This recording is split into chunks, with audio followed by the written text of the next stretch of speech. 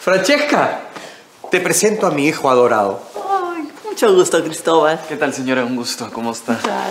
Bueno, papá, ¿cuándo me presentas a tu flamante esposa? Conociéndote debe ser menor que yo, pillín. ¿no? Francesca es mi nueva esposa. Ah. Ah. Eh, Es que se le ve tan joven, Francesca, claro, por supuesto. Qué abusivo, parro, vacunas. Ya, ya, tampoco exageres, ¿sí? No te preocupes, a todo el mundo le pasa. Pero estamos tan enamorados que nada nos afecta. Para otras cosas sí es bien hábil, ¿ah? Te conté que ganó la beca Tragodara de gastronomía. ¿Ah, sí? ¿Dónde estudias? En Andorra, la vieja.